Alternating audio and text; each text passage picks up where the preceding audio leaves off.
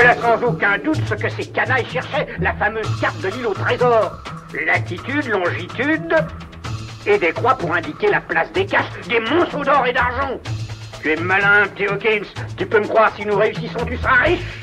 De la montagne qui s'appelle Longue Vue, direction sud-sud-est, jusqu'à l'arbre en forme de doigt, par le rocher du diable. Ça peut pas faire de mal. Puis à deux lieues au sud, Continuez, docteur. prendre à tribord, plein nord-est jusqu'au pied du pic blanc. Dix pas vers l'est, un trésor que l'on évalue à 750 000 écus.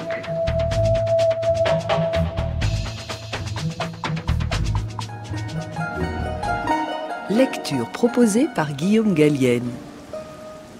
Ça peut pas faire de mal. Jim, me dit Billy Bones, tu es le seul ici qui vaut quelque chose. Et tu sais que j'ai toujours été bon pour toi. Et maintenant, tu vois, compagnon, je suis tombé bien bas, abandonné de tous. Dis, Jim, tu vas m'apporter un petit coup de rhum, hein, mon gars? Mais le docteur, il m'a interrompu en maudissant le docteur d'une voix faible mais rageuse. Les docteurs, c'est tous des crétins. Et ce docteur-là, non mais, il connaît quoi sur les gens de mer? Je suis été dans des endroits aussi chauds que du goudron fondu et les gars tombent comme des mouches de la fièvre jaune. Il connaît quoi sur ces pays-là, le docteur? J'ai vécu de Rome, je te dis. C'était ma viande et ma boisson et nous étions comme mari et femme, cette boisson et moi. Et si j'aurais pas mon rhum là tout de suite, je suis une pauvre vieille carcasse échouée, que mon sang rejaillisse sur toi, Jim, et sur ce crétin docteur. Il a lancé une nouvelle salve de jurons, puis, prenant un ton plaintif, Regarde, Jim, comme mes doigts dansent. Peux pas les tenir tranquilles. J'ai pas eu une goutte de toute la sainte journée. Ce docteur est un idiot, je te dis. Si je bois pas une gorgée de rhum, Jim, j'aurai des hallucinations. Ça a déjà commencé. J'ai vu le vieux Flynn dans le coin, là, derrière toi. Comme si son portrait serait imprimé sur le mur, je l'ai vu. Mais si j'ai des hallucinations, j'ai vécu rude, Jim. Je deviendrai pire qu'un démon. Ton docteur soi-même a dit qu'un verre me ferait pas de mal. Je te donne une guinée d'or pour un doigt de rhum, Jim. Quand je le lui ai apporté, il l'a saisi avec avidité et l'a bu d'un seul coup. Oh, oh, ça va mieux, sûr et certain. Et maintenant, mon gars, écoute bien. Ils sont après mon vieux coffre marin, tout l'équipage du vieux Flint, hommes et moussaillons, ce qui en reste. J'étais son second, c'était moi le second du vieux Flint, et je suis le seul qui sait l'endroit. Il me l'a confié à Savannah. Il était en train de crever, comme moi maintenant, tu vois. Alors ouvre l'œil, Jim, et je partagerai avec toi moitié-moitié, sur mon honneur. Il a divagué encore un peu d'une voix de plus en plus faible. Je lui ai donné sa portion, qu'il a prise comme un enfant. Puis il est tombé dans un sommeil si profond qu'il paraissait évanoui, et je l'ai laissé. C'est avec l'apparition d'une carte très convoitée, indiquant l'emplacement du plus grand butin de tous les temps de mémoire de pirates, que s'ouvre l'île au trésor. Magnifique roman de l'écrivain voyageur Robert Louis Stevenson, paru en 1883. Bientôt emporté par son goût immodéré pour le rhum, Billy Bones, qui fut le second du légendaire pirate capitaine Flint, à qui l'on doit le trésor, laisse derrière lui le précieux parchemin. Et c'est ainsi que Jim Hawkins, le fils de l'aubergiste chez qui le corsaire est venu finir ses jours, hérite de la fameuse carte et se lance dans l'aventure.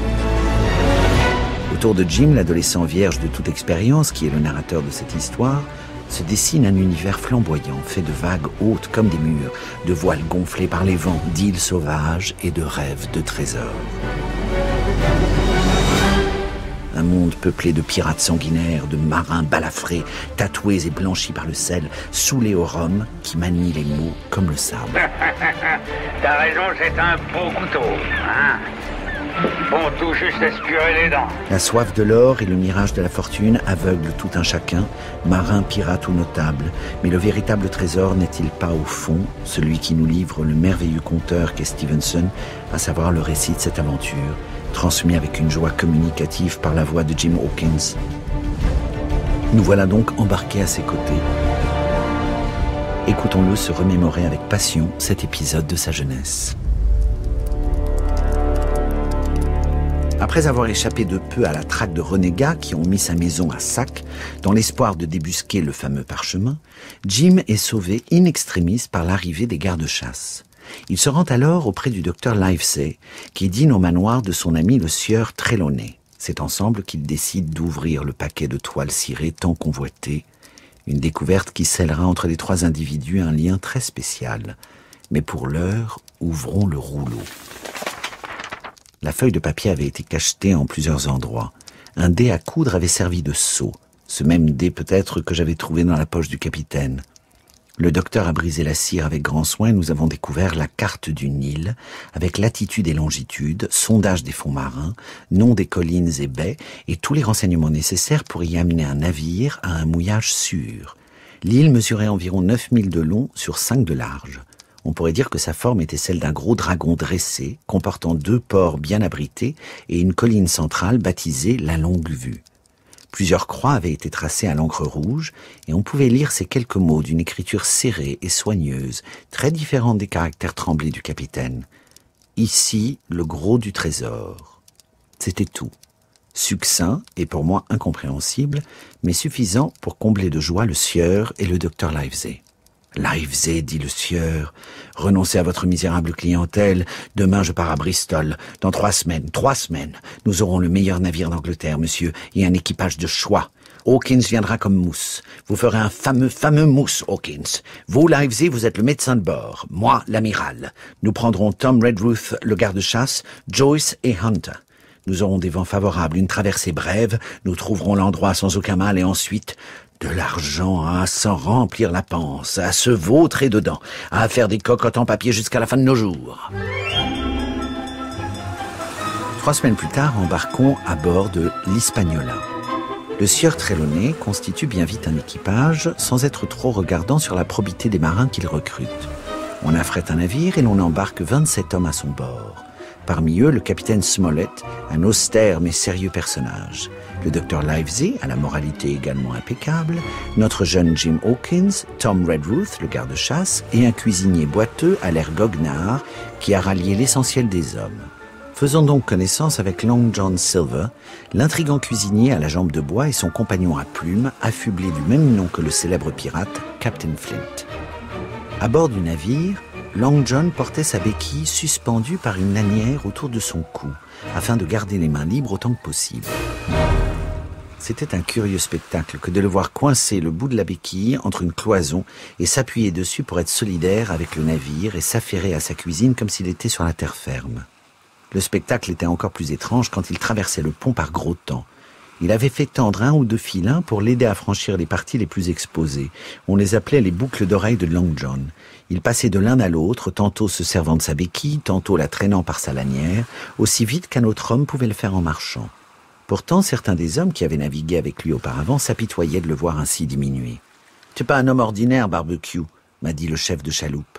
Il est allé à l'école dans ses jeunes années et il peut parler comme un livre si ça lui chante. Et courageux.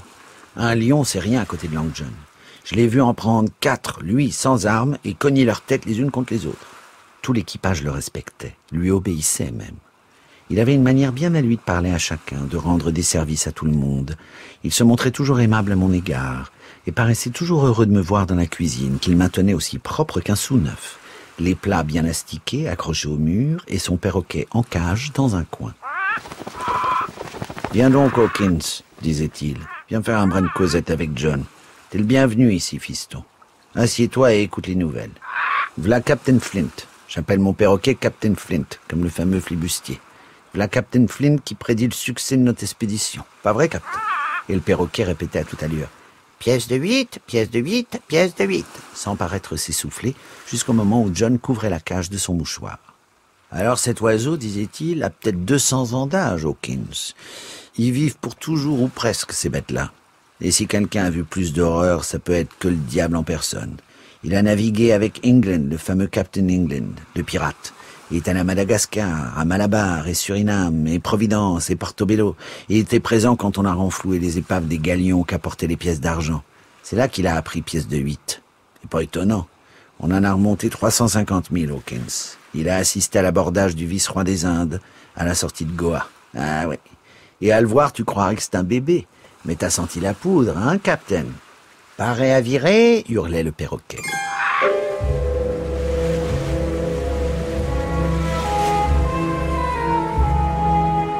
Mais voyons qui se cache derrière l'apparence débonnaire du cuisinier boiteux. Alors que Jim s'est endormi au fond d'un tonneau, bercé par le balancement du bateau, il est soudainement réveillé par la voix tonitruante et gouailleuse de Long John Silver. Il s'apprête à se montrer quand les propos du cuisinier, visiblement occupé par un sombre complot, lui font perdre toute envie de sortir de sa cachette. Flint était captain. J'étais quartier-maître. Même abordage où j'ai perdu ma jambe. Le vieux Pew a perdu ses loupiottes. C'était un maître chirurgien. Celui qui m'a empité. Diplômé à la faculté et tout, du latin à la pelle. Ah, c'était crié une autre voix, celle du plus jeune matelot à bord, sur un ton admiratif. C'était la fine fleur des flibustiers, hein, Flint Le vieux navire de Flint, je l'ai vu ruisselant de sang, et si plein d'or qu'il était prêt de couler. Sous son commandement, j'ai mis 2000 livres en sécurité. Mais écoute-moi bien, t'es qu'un gamin, mais t'es malin. Je le vois déjà. Et je vais te parler d'homme à homme. Le gars qui a envie de me faire un sale coup, un gars qui me connaît, je veux dire, ben il attend d'être dans l'autre monde pour le faire. Il y en a qui s'effroyaient de Pew, il y en a qui s'effroyaient de Flint, mais Flint lui-même s'effroyait de moi. Effroyé, ouais, tout fier qu'il était. Il n'y avait pas d'équipage plus rude que celui de Flint. Le diable en personne se serait effroyé de prendre la mer avec eux. Ben, je vais te dire, je suis pas un vantard. T'as vu toi-même que je suis de bonne compagnie. Mais quand j'étais quartier maître, personne n'aurait appelé les vieux flibustiers de Flint Agnew. Ah, tu crains rien sur le navire du vieux John. Ben, je vous dis au vrai, John, cette affaire me plaisait pas plus que la moitié de ça avant que nous causions. Mais maintenant, topez-la. Que tu seras un bon petit et pas bête non plus. Et j'ai jamais vu aucun gars qui ferait une plus belle figure de proue pour un gentilhomme de fortune. Je commençais à comprendre le sens de leurs paroles. Par gentilhomme de fortune, ils n'entendaient ni plus ni moins qu'un vulgaire pirate. Et la petite scène que je venais de surprendre constituait le dernier acte de la corruption d'un matelot honnête, peut-être le dernier présent à bord. J'ai bientôt été rassuré sur ce point, car Silver a siffloté, et un troisième homme s'est approché et s'est assis avec eux. Dick est de notre côté, a déclaré Silver. Bon, je savais que Dick marcherait, a rétorqué la voix du chef de chaloupe, Israel Hans. Il n'est pas fêlé, Dick. Il a changé sa chic de joue et craché. Mais vise là, barbecue, ce que je veux savoir. Combien de temps que nous allons navigoter comme un sacré caboteur? J'en ai presque plein le dos du capitaine Smollett. Il m'a assez engueulé, tonnerre. Je vais aller dans cette cabine, ouais. Je veux leur conserve et leur vin, tout ça. Israël, dit Silver, ta tête vaut pas gros, et c'est pas d'hier. Mais t'es capable d'entendre, je crois. Au moins t'as des oreilles de bonne taille. Alors voilà ce que je te dis. Tu couches à l'avant, tu bosses dur et tu parles doux. Et tu restes sobre, jusqu'à ce que je te donne le signal. Et c'est comme ça, mon fils. Ouais, je dis pas non, hein, grogné le chef de chaloupe. Ce que je dis, c'est quand. Euh, c'est ça que je dis quand, par tous les diables. Bah si tu veux savoir, je vais te dire quand le plus tard possible, v'là quand. Il y a un marin de première, le capitaine Smollett, qui mène le navire pour nous. Il y a ce sieur et ce docteur qui ont une carte et tout. Je sais pas où qu'elle est, hein. Et toi non plus. Alors ben quoi? Je veux que ce sieur et ce docteur trouvent la marchandise et nous aident à la transporter à bord par tous les diables. Ensuite, pas de quartier. À ce moment précis, une sorte de clarté m'est tombée dessus dans le tonneau, et levant les yeux, j'ai vu que la lune poudrait d'argent le mât et la voile de misaine. Et presque aussitôt, la voix de l'homme de vigie a crié Terre Terre Nous approchions déjà du but. Tout le monde sur le pont Quelqu'un de vous a-t-il déjà vu cette terre-là? Je l'ai déjà vu, capitaine. Je... Nous y avons fait de l'eau avec un navire marchand où j'étais coq. Où est le mouillage? Au sud, derrière l'îlot du squelette. Est-ce qu'on peut y entrer? Ah, euh, c'est-à-dire, il y a un passage au milieu du détroit. Un passage comme creusé par la nature. Donnez-moi des gars qui souquent dur sur les rames, monsieur. Et dans un quart d'heure, on est à l'ancre. Bon. Descendez vite une embarcation.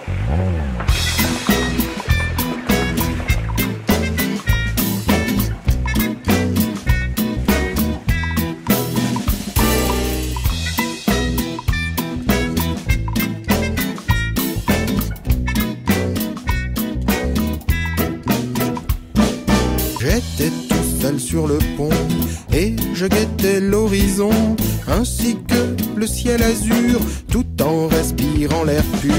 Autour des mâts du bateau tournoyer des nuées d'oiseaux tandis que je lève la tête v'là pas qu'une mouette se déleste prestement d'un petit besoin pressant, la fiente de ce volatile tombe comme un projectile dans mon œil grand ouvert, me privant de la lumière. Une fois de plus, ma distraction me joua un tour de con avec un geste de dédain.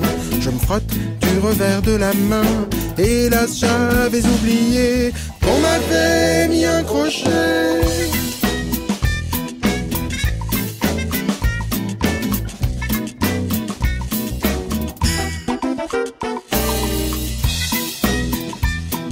Ça peut pas faire de mal.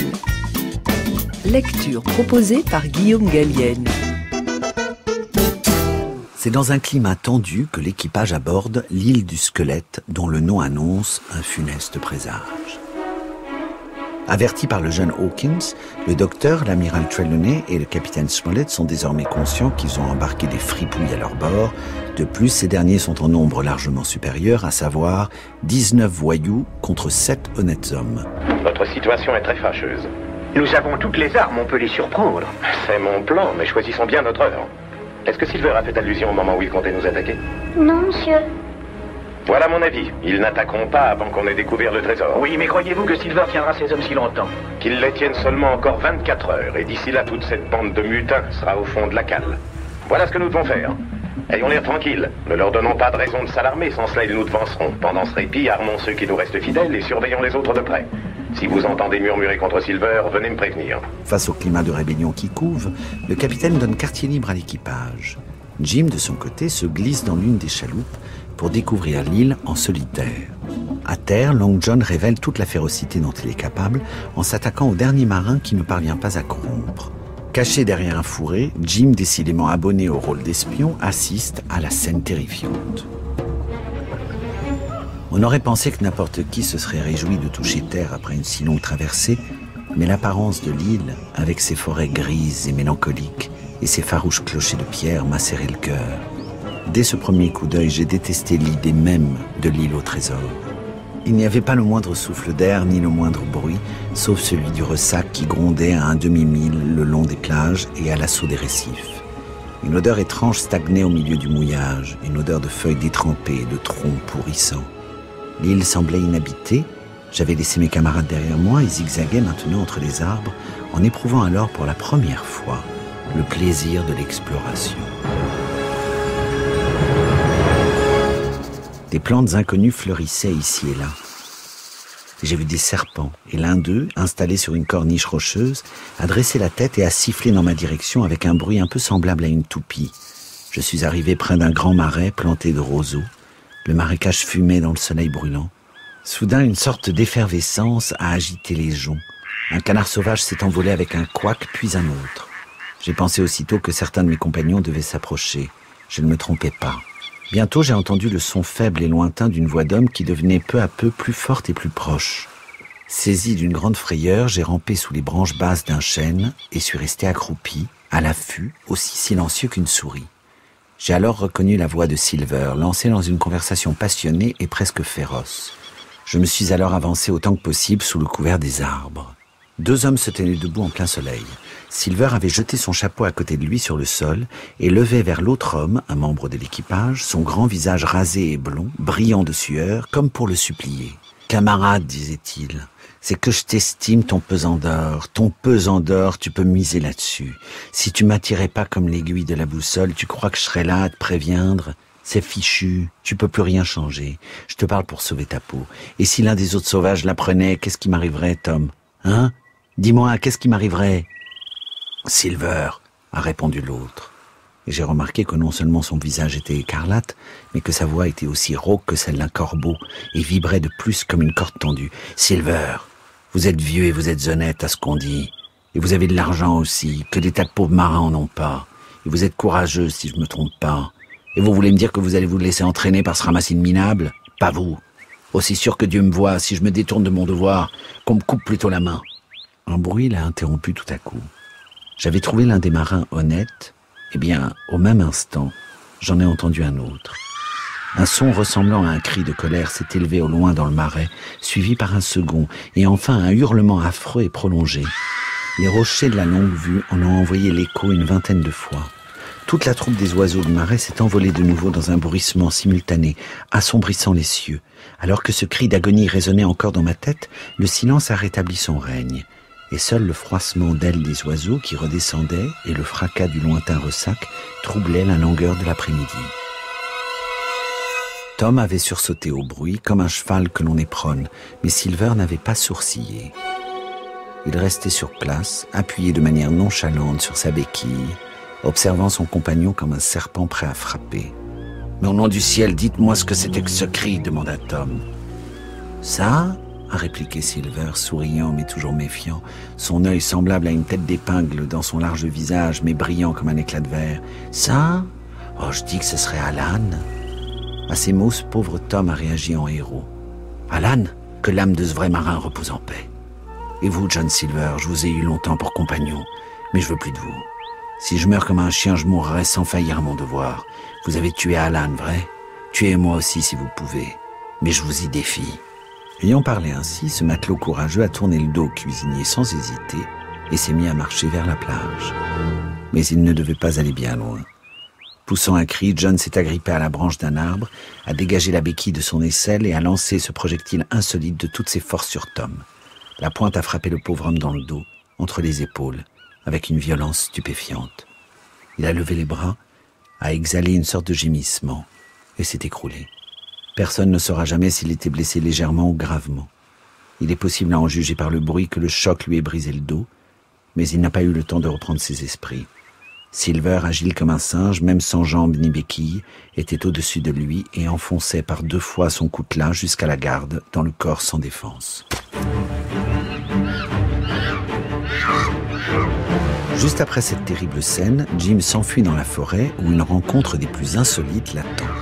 Bien qu'apparaissant brièvement, le personnage que vous allez découvrir joue un rôle décisif dans l'intrigue.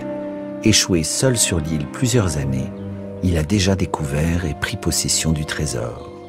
Mais ne brûlons pas trop vite les étapes. Retrouvons Jim éperdu de peur. Du flanc de la colline, qui était ici escarpée et rocheuse, une poignée de gravier s'est détachée et a dégringolé en crépitant à travers les arbres. Tournant les yeux instinctivement dans cette direction, j'ai vu une silhouette bondir avec une grande vivacité pour se cacher derrière un pin. Je n'aurais pas pu dire ce que c'était. Un ours, un homme, un singe cela paraissait sombre et hirsute. Je n'en savais pas plus. Mais la terreur de cette nouvelle apparition m'a figé sur place. J'étais pris entre deux feux, me semblait-il. Derrière moi, les assassins, devant moi, cet être indéfini en embuscade. J'ai vite décidé que je préférais les dangers connus aux inconnus. Silver lui-même m'apparaissait moins inquiétant quand je l'opposais à cette créature des bois. J'ai donc tourné les talons et surveillant mes arrières en regardant par-dessus mon épaule, j'ai commencé à retourner sur mes pas en direction des chaloupes. Aussitôt, la silhouette est réapparue et, décrivant un large cercle, a entrepris de me couper la route. J'étais fatigué de toute façon et je pouvais voir que toute tentative de vaincre cet adversaire à la course était vaine. La créature filait d'arbre en arbre comme un chevreuil, courant sur deux jambes à la manière d'un homme, si ce n'est que je n'avais jamais vu un homme courir en restant plié en deux. C'était bien un homme pourtant, je ne pouvais plus en douter. Me souvenant de ce que j'avais entendu dire des cannibales, j'étais à deux doigts d'appeler au secours. Mais le simple fait de le savoir à un homme, même sauvage, m'avait un peu rassuré, ce qui ravivait par contre-coup ma peur de Silver. Je me suis donc arrêté et me suis demandé comment m'échapper. Alors que je réfléchissais, le souvenir de mon pistolet m'est soudain venu à l'esprit. En pensant que je n'étais pas sans défense, j'ai repris courage. Faisant face résolument à cet homme de l'île, j'ai marché d'un pas vif vers lui. Entre-temps, il s'était caché derrière un autre tronc d'arbre, mais il devait m'observer de près, car dès qu'il m'a vu marcher vers lui, il est venu lui-même à ma rencontre. Puis il a hésité, a reculé, s'est avancé de nouveau, et enfin, provoquant mon étonnement et mon trouble, il s'est mis à genoux et a joint les mains en un geste de supplication. Voyant cela, je me suis arrêté une fois de plus. Qui êtes-vous? lui ai-je demandé. Ben Gunn, a-t-il répondu. Et sa voix rauque, mal assurée, grinçait comme une serrure rouillée. Je suis le pauvre Ben Gunn, c'est moi. Et j'ai pas parlé à aucun chrétien, ça fait trois ans. Je pouvais voir maintenant que c'était un homme blanc comme moi, et que ses traits étaient même agréables. Là où sa peau était visible, elle était brûlée par le soleil, même ses lèvres étaient noires, et ses yeux clairs ressortaient de manière étonnante dans un visage si sombre. De tous les mendiants que j'avais vus ou imaginés, c'était le plus dépenaillé, Il était vêtu de lambeaux, de toile à voile et de draps marins, et ce patchwork extraordinaire tenait ensemble par un système d'attaches aussi diverses qu'incongrues, des boutons de cuivre, des bouts de bois, des lacets de choses goudronnées. Il portait autour de la taille une vieille ceinture de cuir à boucles de cuivre, qui était la seule pièce intacte de son accoutrement. Trois ans, me suis-je exclamé. Avez-vous fait naufrage? Non, camarade, j'ai été marronné. J'avais déjà entendu ce mot. Je savais qu'il désignait une horrible punition courante chez les flibustiers qui consistait à abandonner le coupable sur quelque île isolée et désolée. Marronné trois ans de ça, a-t-il poursuivi, et mangé tout ce temps des chèvres, des baies sauvages et des huîtres. Mes camarades, mon cœur se languit d'un régime chrétien. T'aurais donc pas un bout de fromage sur toi par chance Non? Hein? Maintes longues nuits, j'ai rêvé de fromage, grillé plutôt. Et je me réveille et je suis ici. Si jamais je remonte à bord, vous aurez des livres de fromage. Pendant tout ce temps, il palpait l'étoffe de ma vareuse, caressait mes mains, regardait mes bottes, et de manière générale, dans les silences de son discours, manifestait un plaisir enfantin en présence d'un compagnon humain. En trois ans, j'ai tout réfléchi sur cette île solitaire, et je suis revenu à la piété. Tu me verras pas tant goûter le rhum, ou, juste un petit dé à coude qui porte chance à, à l'occasion. C'est certain que je ferai le bien, je sais comment. Eh camarade, regardant autour de lui et abaissant sa voix jusqu'au murmure, je suis riche. J'étais maintenant certain que la solitude avait rendu fou ce pauvre homme. Je suppose que mon sentiment se lisait sur mon visage car il a repris en s'emportant. Riche, riche, te dis. Et tu sais quoi? Je ferai un homme de toi, camarade. Ah, mon ami, tu remercieras ta bonne étoile, sûr, car t'es le premier qui m'a trouvé. On dirait que t'as changé de résidence, Georges. Ouais. En attendant, j'ai pris le navire. Est-ce qu'on t'avait demandé de le faire? Non, mais toi, t'aurais jamais réussi. Enfermez-le dans la cale. On exécutera ton ordre, John, mais je peux te dire que t'as pas raison de condamner Georges Méry sans lui donner une chance. Georges est un garçon qui n'a pas de tête, mais il va falloir se battre sur cette damnée île. Et quand il s'agit de se battre, il sait le faire. Ce serait une bêtise de le laisser pourrir dans la cale. Bah évidemment, Tu as raison, John Silver. T'as fait là un joli discours, Israël Hans. Nous allons soumettre la chose à Monsieur Méry. Je veux bien s'il jure de ne plus faire d'idiotie. Je suis avec toi, capitaine. Alors, c'est d'accord. Et moi, comme capitaine, je vous donne les ordres. À terre, tous et tout de suite. Excepté Israël et Agot qui restent. Vous deux, vous restez à bord pour veiller sur le navire. Oui, capitaine. S'il vous arrivait le moindre ennui, signalez-le-moi par un coup ou deux de canon. D'accord. Le pavillon noir à tête de mort flotte désormais à la proue de l'Hispaniola. Fuyant John Silver et son armée de mutins, l'armateur Trelawney, le docteur, le capitaine Smollett, Jim et une poignée d'hommes fidèles se sont réfugiés dans un fortin autrefois construit par le capitaine Flint. Là, ils essuient la canonnade des pirates et organisent leur riposte malgré une situation toujours inférieure en nombre. Après une nuit d'affrontements laissant des morts de chaque côté, le cuisinier boiteux devenu chef des rebelles se présente devant eux, richement vêtu, et coiffé d'un magnifique chapeau à ruban de dentelle et portant à la main un drapeau blanc. Eh bien voilà, dit Silver en s'adressant au capitaine. De notre côté, nous voulons ce trésor, et nous l'aurons. De votre côté, vous aimeriez autant sauver vos vies, je suppose. Vous avez une carte, non? Peut-être, a répondu le capitaine. Bon, vous l'avez, je le sais, a poursuivi Long John. Pas la peine de le prendre de haut avec moi. Il n'y a pas une particule d'avantage à en retirer, vous pouvez miser là-dessus. Je veux dire, nous voulons votre carte. Et je vous ai jamais voulu de mal moi-même. Ça ne prend pas avec moi, mon bonhomme, a interrompu le capitaine. Nous savons exactement ce que vous aviez l'intention de faire et cela nous est égal, car maintenant, vous voyez, vous ne pouvez pas le faire. Et le capitaine l'a regardé calmement et s'est mis à bourrer sa pipe. Long John, à son tour, a bourré sa pipe et l'a allumée. Les deux hommes ont fumé en silence pendant pas mal de temps, tantôt se dévisageant, tantôt tassant leur tabac, tantôt se penchant pour cracher. C'était aussi bien de les regarder que d'aller au théâtre. Bon, voilà, a commencé Silver. Vous nous donnez la carte pour aller au trésor, vous cessez de tirer sur de pauvres marins et de leur défoncer la tête pendant qu'ils dorment. Vous faites ça, et nous vous offrons un choix. Soit vous venez à bord avec nous, une fois le trésor embarqué, alors je vous donne ma garantie, sur mon honneur, de vous déposer quelque part à terre, sain et sauf. Ou bien, si ça serait pas à votre goût, certains de mes matelots étant rudes, alors vous pouvez rester ici. Vous pouvez. Nous répartirons les provisions, à chaque homme sa part. Et je vous donne ma garantie, comme avant, de parler au premier navire que je vois. Et je les envoie ici pour vous prendre. Ça, c'est parler. Vous conviendrez. Pourriez pas avoir à espérer mieux, non? Et j'espère, élevant sa voix, que tous les matelots dans ce fortin prêteront attention à mes paroles, car ce que je dis à l'un, je le dis pour tous. Le capitaine Smollett s'est levé et a tapoté sa pipe dans la paume de sa main gauche pour en vider les cendres. C'est tout. Mon dernier mot, tonnerre. Refusez ça, vous verrez plus rien de moi que des balles de fusil. Très bien. Maintenant, écoutez-moi. Si vous venez un par un, sans armes, je m'engage à vous coller tous au fer et à vous ramener en Angleterre où vous aurez droit à un procès équitable.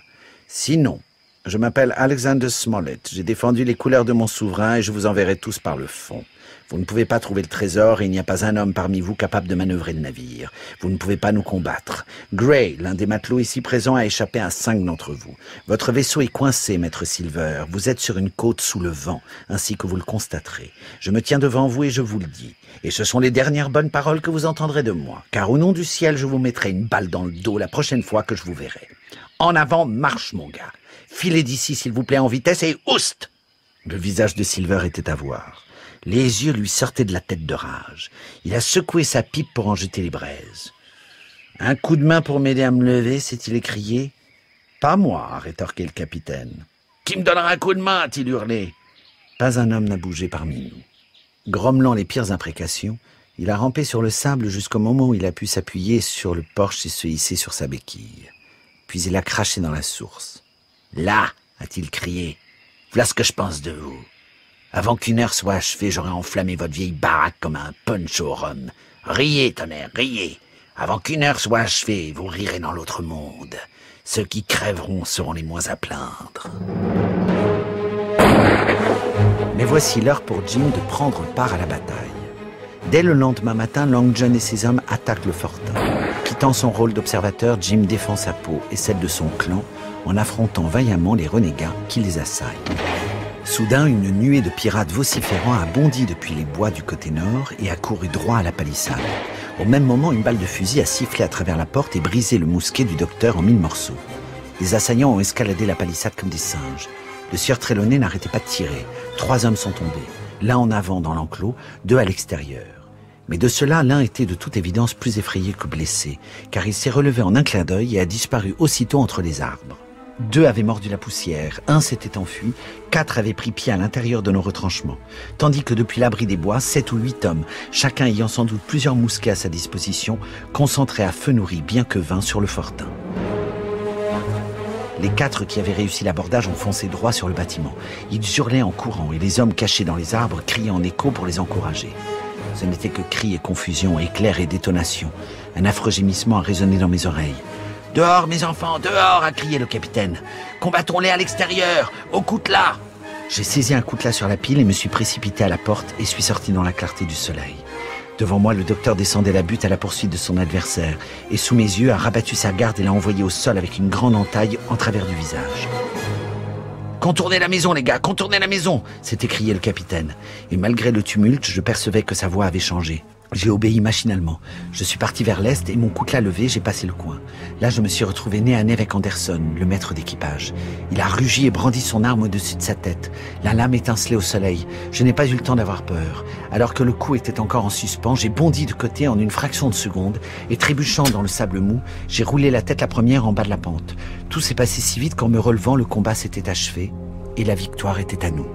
Des quatre mutins qui avaient franchi la palissade, un seul nous avait échappé. Cinq, s'est exclamé le capitaine, qui, bien que blessé, n'avait rien perdu de sa vaillance. Ah voilà qui est mieux. Cinq contre trois, ça nous laisse à quatre contre neuf. Nos chances sont meilleures qu'au début, nous étions sept contre dix-neuf alors. Les forces sont moins disproportionnées, ils auront de la peine à nous chasser d'ici. Il se peut qu'ils n'essayent pas. Pourquoi donc? Ils attendront l'heure de la marée. Ils n'auront ensuite qu'à amener la goélette auprès du rivage. Une fois là, en quelques coups de canon, ils démoliront le fortin. Par Dieu, vous avez tout à fait raison. Croyez-vous qu'ils y songeront? Silver, peut-être, c'est le diable. Ils sont entre les mains des embarcations. Sans cela, on pourrait se glisser hors d'ici. Couper les amarres et le navire s'échouerait.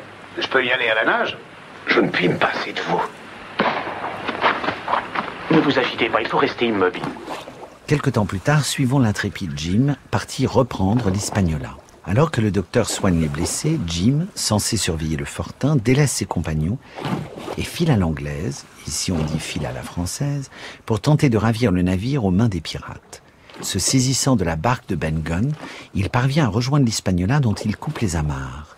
Sans véritable maître à bord et chahuté par le vent, le navire a des allures de vaisseau fantôme. Je ne voyais pas âme qui vive. Le plancher, qui n'avait pas été frotté depuis la mutinerie, portait de nombreuses traces de pas, et une bouteille vide, le goulot brisé, roulait de ci de là comme un être vivant. Soudain, l'Hispaniola s'est remise vent debout. Les phoques ont claqué bruyamment derrière moi. Le gouvernail s'est rabattu. Le bateau tout entier s'est soulevé en frémissant de manière effrayante. Et au même moment, la baume de grande voile, cette barre horizontale maintenant la voile aux mains, a basculé. Les écoutes grognant dans les poulies, ce qui m'a découvert le pont arrière sous le vent. Les deux gardiens que j'avais entendus se disputer violemment la veille étaient là. Le premier gisait sur le dos, aussi raide qu'un levier de marine, les bras étendus comme ceux d'un crucifix, ses lèvres écartées découvrant ses dents. À ses côtés, Israël Hans, le chef de chaloupe, était adossé au bastingage, le visage aussi blanc sous son hâle qu'une chandelle. Pendant un moment, la goélette a rué et fait des écarts comme un cheval vicieux, les voiles se gonflant tantôt sur un bord, tantôt sur l'autre, la baune se balançant sans cesse au point que le mât gémissait sous la contrainte. De manière répétée, des volets d'embrun bondissaient par-dessus le bastingage et l'étrave heurtait lourdement une vague. À chaque soubresaut de la goélette, le marin au bonnet rouge glissait d'un côté à l'autre, mais, spectacle affreux, ce traitement brutal ne modifiait ni son attitude, ni le sourire figé qui révélait ses dents. À chaque saut, de même, Hans semblait s'enfoncer encore plus en lui-même et s'affaisser sur le pont. En même temps, j'observais autour d'eux des flaques de sang noir sur les planches, et j'étais de plus en plus convaincu qu'ils s'étaient entretués dans leur fureur d'ivrogne. Esquivant la baume au moment où elle balayait le pont, je me suis précipité à l'arrière et en bas de l'escalier menant à la cabine. Vous ne sauriez imaginer le désordre qui y régnait. Tous les meubles fermant à clé avaient été forcés à la recherche de la carte. Une épaisse couche de boue couvrait le parquet sur lequel les bandits s'étaient assis pour boire ou discuter après avoir pataugé dans les marais. Des traces de mains sales maculaient les cloisons blanches aux moulures dorées. Des douzaines de bouteilles vides s'entrechoquaient dans les coins au rythme du roulis. Un livre de médecine du docteur était ouvert sur la table, la moitié des pages ayant été arrachées sans doute pour allumer des pipes. Au milieu de tout cela, la lampe diffusait encore une lueur fumeuse, aussi sombre et brune que l'acajou. Je suis descendu dans la cale, tous les tonneaux avaient disparu, et une proportion étonnante des bouteilles avait été bue ou jetée. Il est certain que depuis la mutinerie, pas un des hommes n'avait jamais été sobre.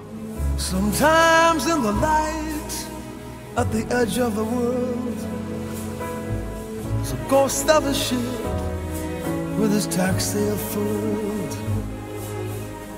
And night after night, she would stand on the shore and dream of the love that she knew before. The tide rose out, the tide rose in, without a thought for the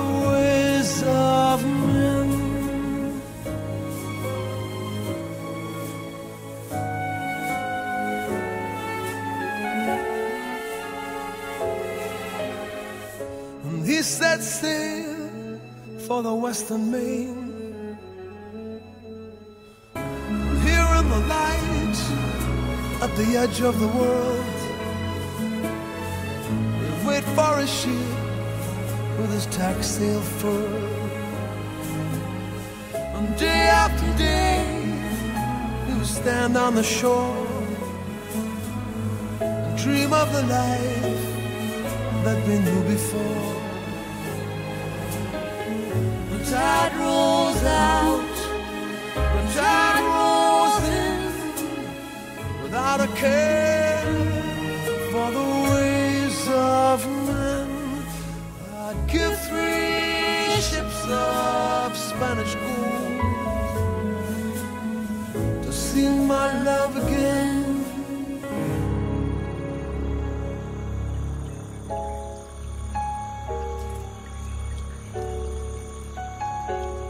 Jim croit être parvenu à ses fins en dissimulant l'Hispaniola dans une crique plus au nord de l'île.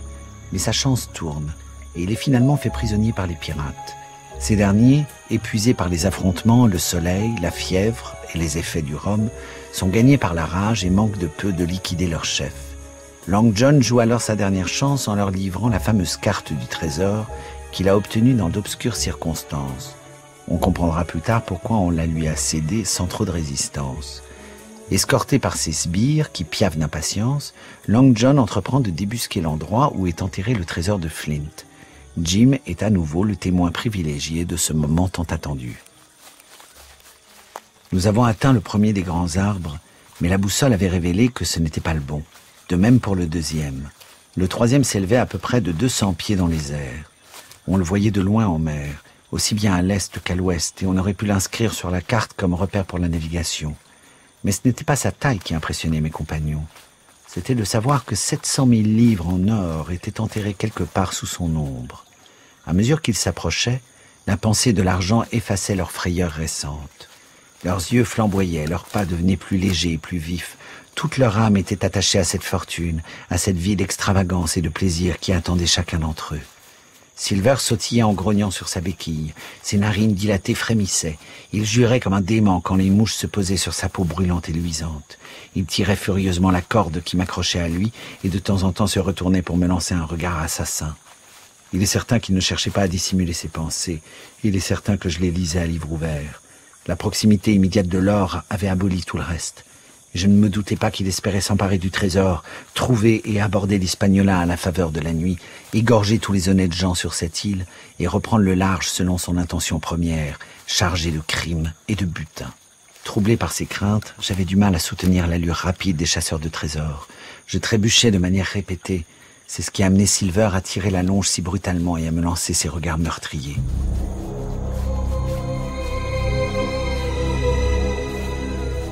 Nous arrivions à la lisière des broussailles. Hurrah les gars, tous ensemble, s'est écrié Mary, et les premiers se sont mis à courir. Soudain, moins de dix yards, un peu plus de huit mètres plus loin, nous les avons vus s'arrêter. Un cri sourd s'est élevé. Silver a avancé deux fois plus vite, creusant la terre du bout de sa béquille comme un possédé.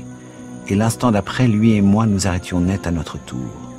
Devant nous s'ouvrait une grande excavation, pas très récente, car ses parois s'étaient éboulées et de l'herbe poussait au fond. Dans l'herbe reposait le manche cassé d'une pioche et les planches éparpillées de plusieurs caisses. J'ai vu sur l'une de ces planches gravées au fer rouge le mot Walrus, le nom du navire de Flint. Tout était parfaitement clair. La cachette avait été découverte et pillée. Les 700 000 livres avaient disparu. En guise d'épilogue, dévoilons enfin le trésor à la source de ce vent de folie. Soudain, trois coups de mousquet, tirés depuis les fourrés par le docteur, éparpillent le petit groupe de flibustiers. Seul Silver, voyant le vent tourner, baisse les armes et se rend, faisant de Jim sa monnaie d'échange pour échapper à la potence. Les voici donc parvenus dans une grotte où le fameux butin, découvert bien avant eux par Ben Gunn durant son long séjour sur l'île, est désormais exposé aux yeux de tous. C'est sur la contemplation de ces richesses que Stevenson clôt son roman, comme une sorte d'hallucination, ou comme un rêve héroïque qu'aurait fait le jeune Jim, comme tous les garçons de son âge, en quête d'aventure.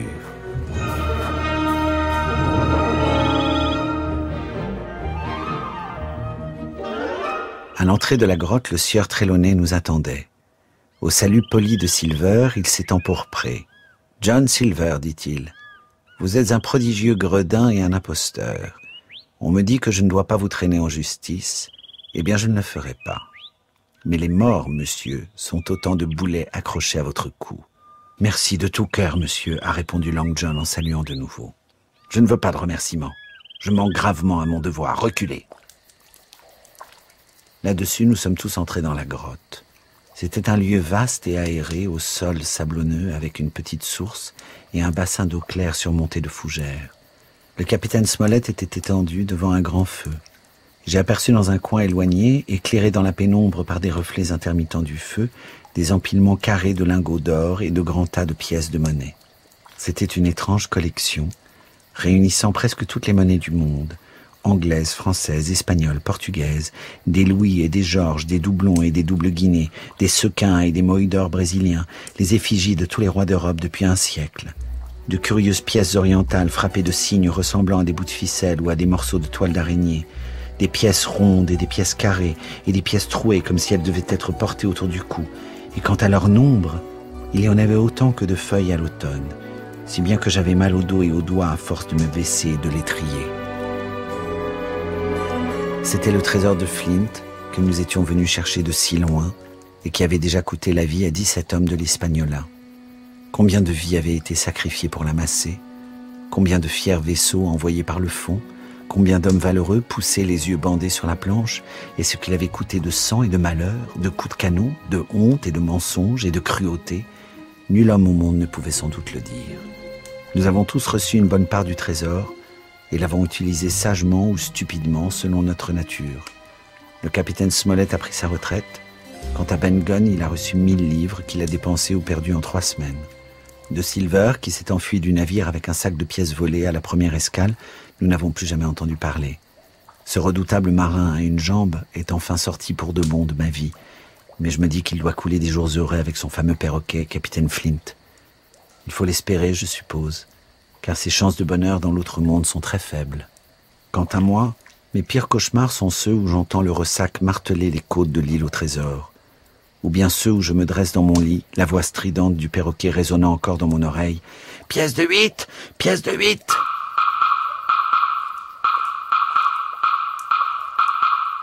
Ça peut pas faire de mal.